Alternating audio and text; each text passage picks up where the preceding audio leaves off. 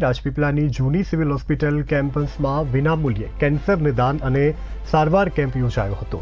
જિલ્લા આરોગ્ય વિભાગ બાદ જનરલ હોસ્પિટલ, રાજપીપળા અને અંકલેશ્વરના સંયુક્ત ઉપક્રમે કેમ્પનું આયોજન થયું હતું. દર્દીઓને હોસ્પિટલના નિષ્ણાંત તબીબોએ વિનામૂલ્યે સેવા પૂરી પાડી હતી.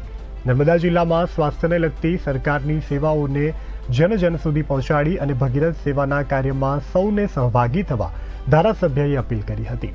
વિનામૂલ્યે કેન્સર નિદાન અને સારવાર કેમ્પમાં શહેર તેમજ જિલ્લામાંથી મોટી સંખ્યામાં દર્દીઓએ ઉપસ્થિત રહી લાભ લીધો હતો.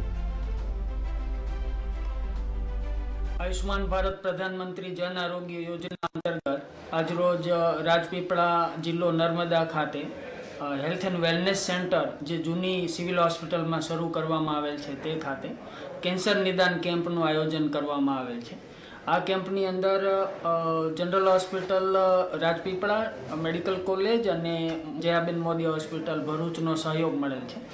આજે જે દર્દીઓ છે એને બ્રેસ્ટ કેન્સર, સર્વાઇકલ કેન્સર, અન્ય તમામ પ્રકારના કેન્સરનું આજે નિદાન થશે, લેબોરેટરી થશે જરૂરી, ટેસ્ટ કરવામાં આવશે અને એમની પીએમજેવાય કાર્ડ અંતર્ગત તમામ પ્રકારની સારવાર પણ જરૂરિયાતવાળાની કરી આપવામાં આવશે અને એમનો ફોલોઅપ પણ કરવામાં આવશે.